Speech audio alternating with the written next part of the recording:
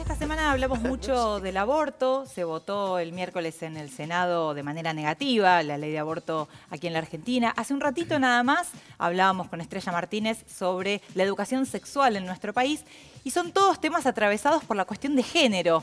Veíamos recién algunas imágenes de Alabadas, esta serie testimonial justamente de cuestiones de género, y tengo a mi lado a su creadora ideóloga, directora de, este, de esta serie, Jorgelina Albano. ¿Cómo estás, Jorgelina? Muy bien, Mariana. Gracias, por visitarnos. No, por favor, gracias a ustedes. Una semana más que interesante para conversar con vos. Muy interesante. Un año muy interesante. Bueno, ¿por qué es un año tan interesante? ¿Qué, ¿Qué cambios crees que se dieron en el último año en relación a los temas de género? Bueno, mira, yo creo que viene desde hace un tiempo, desde el año pasado incluso, donde empieza a tomar, obviamente, con los movimientos, bueno, desde ni una menos que hace más de, dos años incluso que, que, se hizo la primera marcha en Argentina. 2015 creo que fue la primera. 2015 fue la primera.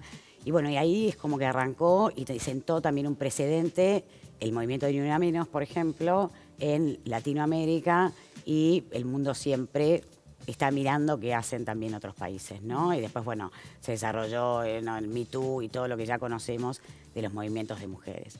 Me parece que hay, mm, hay algo que está sucediendo en, la sociedad hoy, es que ya no queremos vivir de la manera en la que vivíamos, ¿no?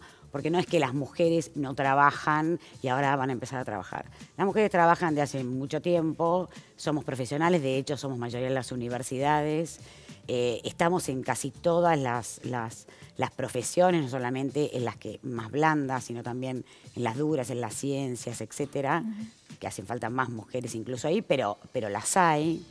Ahora, ¿cuál es la característica que, tiene, que, que viene teniendo la sociedad en la historia de la humanidad? O sea, la sociedad se creó, o sea, la cultura se creó bajo la voz masculina, ¿no? Sobre una sola voz, que es la masculina. O sea, si vos vas no sé, a, Florencia, que es el, monumento del, Renacimiento, vas a ver que toda la obra de arquitectura, las obras de arte, están hechas por hombres. La arquitectura de Buenos Aires, te parás en la avenida Alvear, donde, donde quieras, y todos los nombres de los arquitectos son hombres. Eh, y las ciencias, la, arquitectura, el arte, la, o sea, la, filosofía, o sea, todo lo que dio la cultura o cómo se fue generando la cultura tiene que ver con la voz masculina y eso es el patriarcado. Y el patriarcado no distingue por género, o sea, el patriarcado es las mujeres y los hombres, los dos podemos ser patriarcales. Entonces, cuando dicen, bueno, eh, hay mujeres en, en, lugares de liderazgo, bienvenido que haya mujeres, pero estas mujeres tienen que poder integrar la voz de otras mujeres, ¿no? Y tienen que poder pensar como mujeres. Eh, Madame Albrecht, que es la, la secretaria de Estado una secretaria de Estado en Estados Unidos, decía, uno no puede olvidarse que es, que, es mujer cuando llega a esos lugares, ¿no? Y lo que está pasando hoy, creo, es que eh, las mujeres nos dimos cuenta eh, que queremos otra cosa, o sea, que no queremos más quedarnos en nuestras casas, no, no queremos más trabajar desde un 10 a un 50% más dependiendo la condición social de esa mujer y queremos, eh, queremos redefinirnos, ¿no? Eh, y ese es el sentido de la alabada, ir a las creencias profundas para redefinir lo que significa ser hombre y lo que significa ser mujer en la construcción de una nueva cultura. Ese es el tema, la construcción. Justo fuera del aire, en maquillaje, el tema está todos los días, ¿no? Por lo menos entre nosotras, entre las mujeres y acá con mis compañeras. Y hablábamos de eso, de la construcción de la mujer, de cómo hay mujeres que solo se sienten mujeres cuando son madres, por ejemplo, o solo se sienten mujeres cuando cumplen con determinados mandatos, ¿no? Qué difícil que debe ser romper con eso. Uno a veces las que no somos madres decimos, che, bueno, pero yo soy mujer igual. Y hasta nos molesta un poco cuando alguna mujer que es madre nos marca esa diferencia. Y en el fondo yo recién decía con mis compañeras, yo no dejo de sentir, capaz es fea la palabra, pero un poco de pena porque quizás no puedan romper con ese mandato.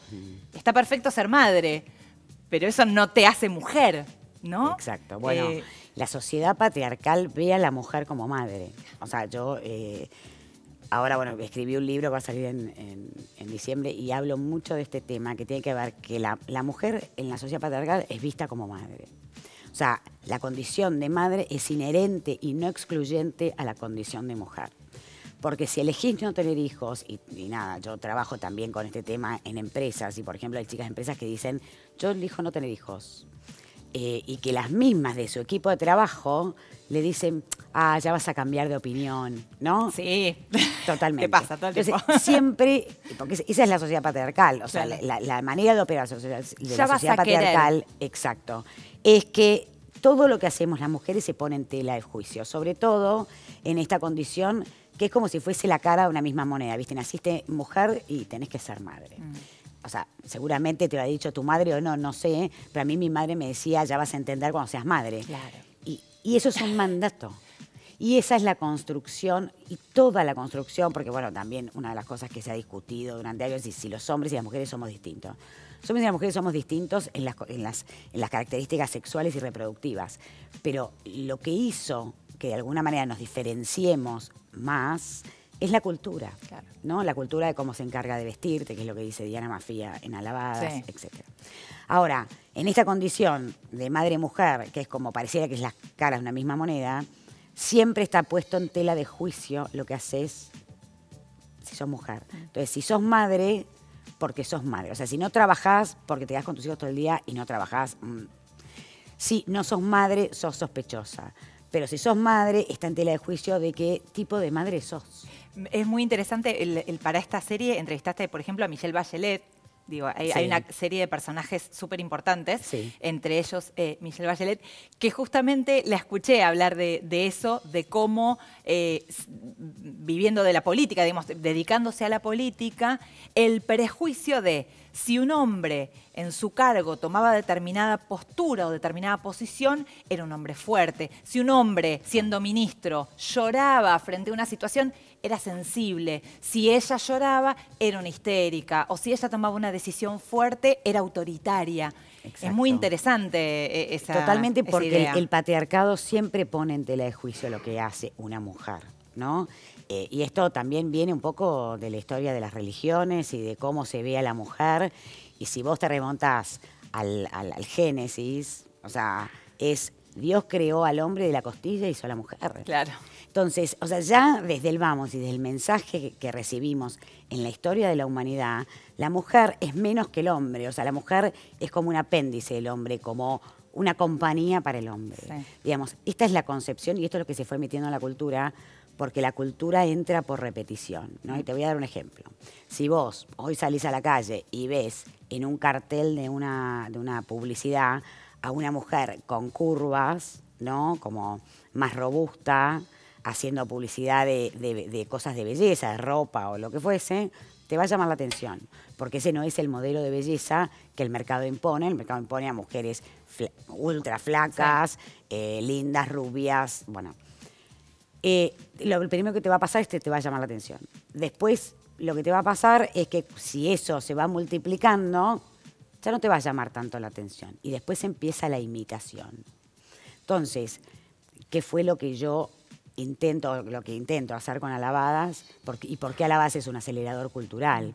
Porque lo que intentamos es que el mensaje entre por repetición, que el mensaje entre también por imitación. O sea, si vos ves que una Michelle Bachelet, que fue una mujer que nació en la clase media chilena, o sea, Sí, no, sí. no, no una mujer de, de familia de mucho dinero, pudo romper reglas y pudo desafiar creencias propias, porque el tema es autotransformarse, o sea, preguntarse lo que, lo que queremos ser, ¿viste? Sí, Eh, hay una palabra que se puso muy de moda últimamente, que es la de, de construcción, la de Exacto. construirse uno y romper con esas ideas. que- Exacto, pero para romper tenés que ir a tus creencias profundas, a lo Claro. que vos mamaste cuando eras chiquito, a los, a los gestos, a estos mandatos que no solamente son explícitos, porque muchas veces no son explícitos, pero se da por el mismo movimiento de la casa. La cultura está tejida por hilos invisibles, por El famoso cosas que no vemos.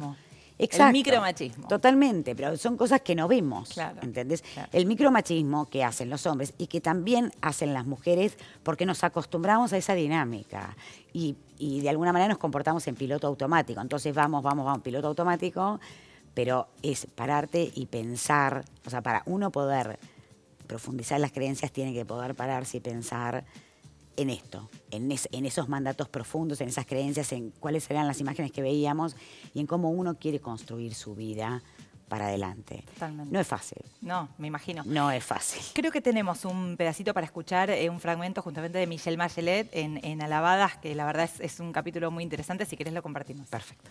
Bueno, me encanta este proyecto Alabadas porque busca justamente eh, que las mujeres puedan conocer referentes en los cuales puedan verse identificadas o los cuales puedan seguir como ejemplo y que al hacer eso podamos cambiar la cultura patriarcal que existe en nuestras sociedades, con lo cual más mujeres van a poder seguir su camino por tanto ser más felices.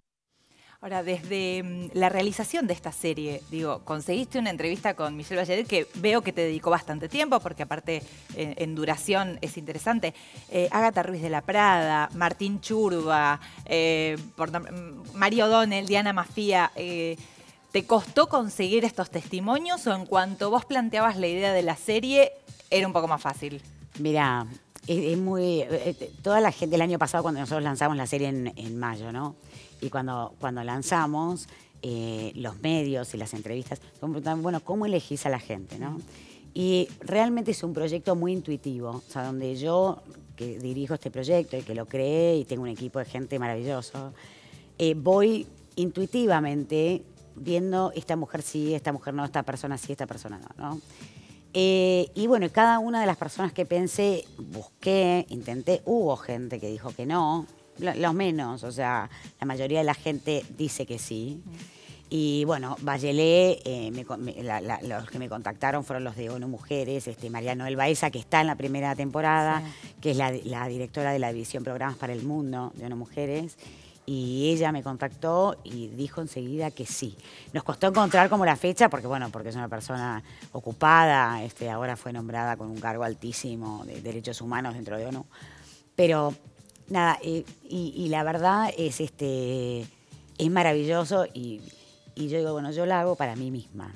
O sea, no es que, o sea, a mí me importa, me encanta a mí entrevistar a la persona, escucharla, porque lo que yo aprendí en, este tiempo, que es este año y medio, es impresionante, ¿no? Y, creo que como lo aprendí yo, la gente que ve alabadas y que además recibe todo este tipo de, información y todo lo que está pasando, obviamente, lo que pasó esta semana y lo que viene pasando, y todo ayuda a cambiar la cultura, a cambiar la mirada, como decimos nosotros, porque a la base es, si cambiamos la mirada haremos que el mundo cambie. Porque cuando uno cambia, cuando vos podés cambiar la forma en que ves las cosas, todo a tu alrededor se transforma. Por eso le sugerimos a, todos que eh, entren en alabadas.com, es el sitio donde pueden ver ya eh, una temporada completa y una segunda que, en este momento está en desarrollo. Más que nada, justamente tal vez para los que quizás no están tan de acuerdo con lo que, con lo que nosotras estamos contando, para que puedan informarse justamente. No solo reafirmar un pensamiento, sino